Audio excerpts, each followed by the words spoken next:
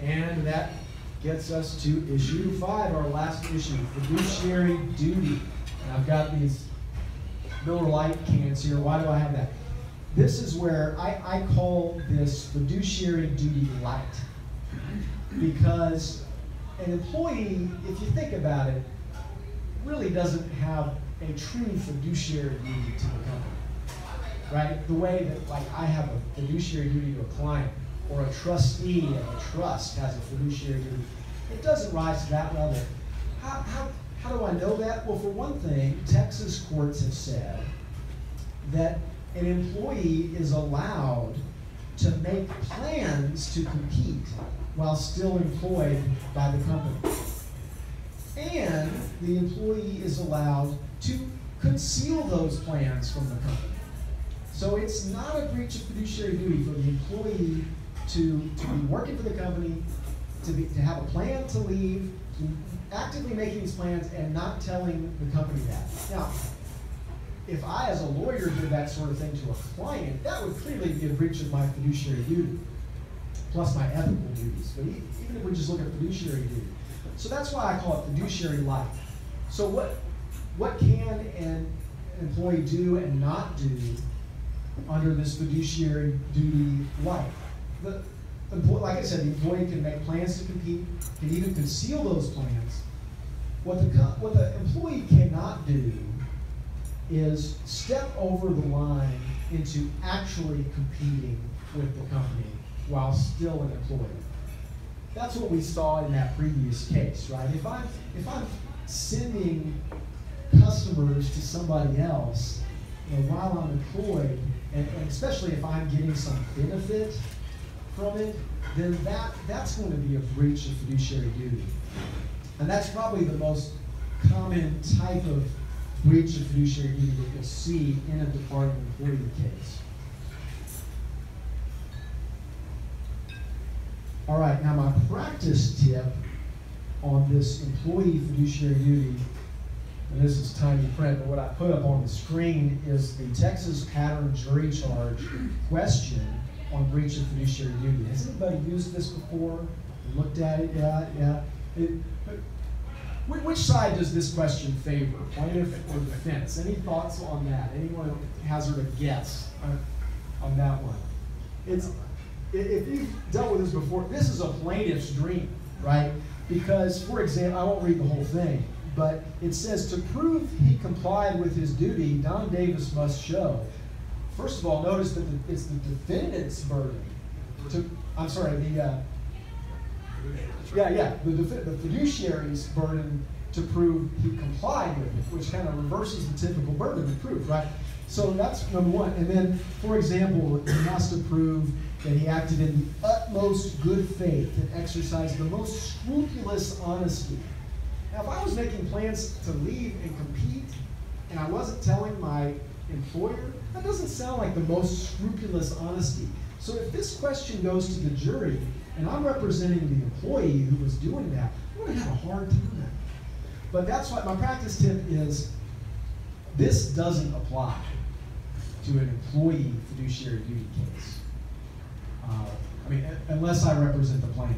And then I, no, but even that, I, I don't think I would even try to, to, to I'd be inviting error if I, you know, if I submitted this question. So that that's my practice. To be careful with the pattern jury charge on fiduciary duty in an employee case because this is based on other fiduciary duty scenarios, not the sort of limited fiduciary duty that an employee has. So that's my practice tip. Don't assume PJC applies. My case for you to read, this is the last case of the day, is Orbison versus Ma-Tex Rope Company. This is a case out of the Texarkana Court of Appeals, and it involved a company that did wireline recertification. And here's a photo. This I just got this off Google Maps. This is one of their locations. Now, one more practice tip. If you're on the defense side of a trade secrets case and you can get a photo like that and say, trade secrets, really, Your Honor? I mean, it doesn't look real high tech or anything. It's just, you know, just a, sort of a yard on the side of the highway. But The issue here in this case was this fiduciary duty. You had a situation where the employee diverted to customers to his new employer, and he did it before leaving the company. And so he was found to have breached his fiduciary duty. Uh, the, the legal issue was that, well, there were two. One was that the plaintiff asked for lost profits damages.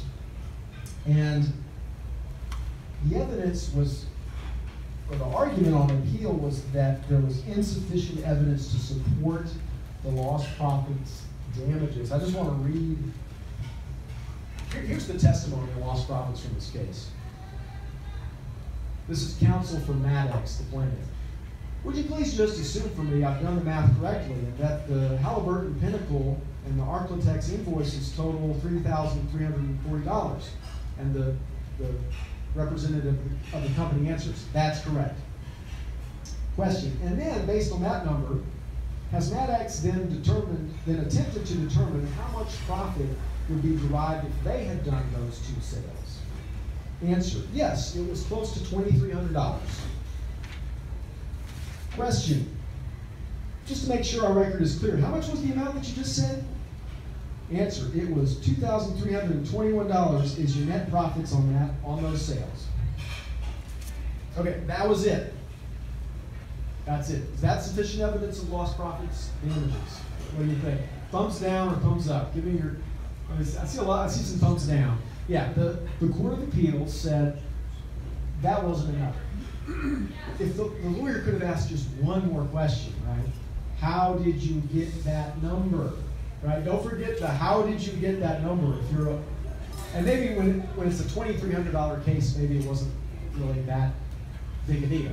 But you've got to explain, there has to be some evidence of how the figure was calculated. Okay, so lost profits damages are out. But the trial court also awarded forfeiture for the breach of fiduciary duty. And this is one of the things that is important about fiduciary duty. It gets you something that the other theories don't, which is the possibility of forfeiture as a remedy. Right? Because otherwise, on these other theories, you're typically looking at actual damages, and which is typically going to be some kind of lost profits calculation. So this is one reason why the fiduciary duty theory can be so important is that it gives you the opportunity for forfeiture. So if you represent the company uh, suing, that's a great uh, arrow to have in your quiver, right? There's another advantage of fiduciary duty. Uh, anybody, anybody have any ideas on what uh, another advantage that it has over other causes of action? Well, Another advantage is there is a cause of action for knowing participation in breach of fiduciary duty. That can be very helpful when you're trying to get to the company, the deep pocket, right? It, you're not just going after the employee, you want to go after the company he went to, so that can be very useful for the plaintiff.